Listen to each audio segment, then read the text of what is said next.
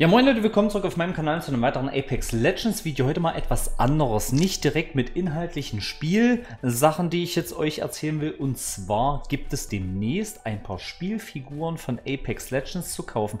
Ihr kennt vielleicht diese Funko-Figuren. Ich kenne mich mit diesen Figuren jetzt selber nicht so aus. Ich weiß dass zum Beispiel, dass es aus verschiedenen Serien wie The Walking Dead es so eine Hauptfiguren als Charakter gibt. Oder von meinem Favorite Stephen King's S, die Pennywise-Figur zum Beispiel. Da gibt es so eine Minispielfigur Figuren. Am 31. Oktober, pünktlich zu Halloween, gibt es acht Apex Legends Figuren.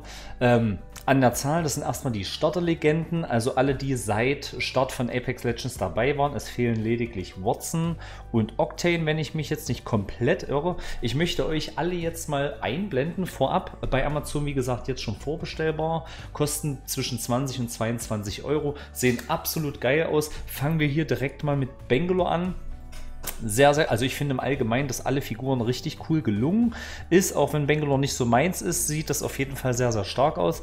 Der nächste, die nächste Legende wäre Gibraltar, auch super gut gelungen. Also ich finde, alle Legenden sehen richtig geil aus. Einer meiner Favorites ist natürlich der Pathfinder.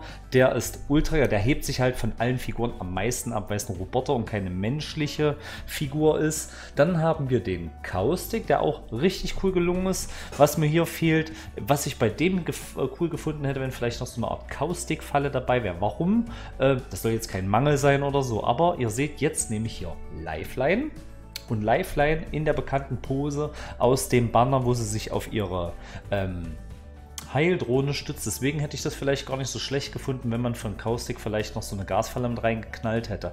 Spielt aber nicht zur Sache. Die Figur sieht trotzdem geil aus. Kommen wir zu Wraith, einer meiner Favoriten mitunter. In der bekannten Pose, wie sie so dasteht mit dieser geöffneten Hand. Sieht ultra, ultra geil aus. Äh, übrigens vorab, ähm, die meisten Bilder, äh, sechs davon an der Zahl, habe ich leider nicht ganz perfekter Qualität hier reinbasteln können. Lediglich der Bloodhound, der jetzt kommt und gleich noch der Mirage, die sehen äh, von der Optik her am besten aus von der Bildqualität. Das bitte ich zu entschuldigen. Leider hat es nicht besser funktioniert. Äh, der Bloodhound sieht natürlich vom Detail mit dem Helm und dem ganzen Spaß am geilsten aus. Finde ich vom gesamten Bild. Und der Mirage, den dürfen wir natürlich nicht vergessen. Der ist auch richtig cool geworden. Ich bin mir noch nicht sicher, ob ich mir einer der Legenden zulege. Also ein, zwei werde ich sicherlich mir mal kaufen. Die werde ich mir hinten irgendwo in die Ecke stellen, damit man die auch schön sieht. Ähm, ich bin auf jeden Fall gespannt, wenn die rauskommen, wie die in echt aussehen, wie groß die sind. Ich kenne mich, wie gesagt, mit diesen Figuren nicht aus. Haut gerne mal in den Kommentaren raus, ob euch diese Sache interessiert, ob ihr das cool findet. Ja, nein, vielleicht. Welches ist eure Lieblingsfigur?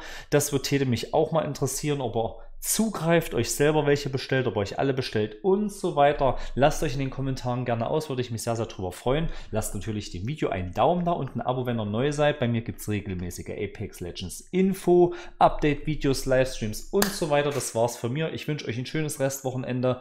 Bis zum nächsten Mal. Haut rein. Ciao.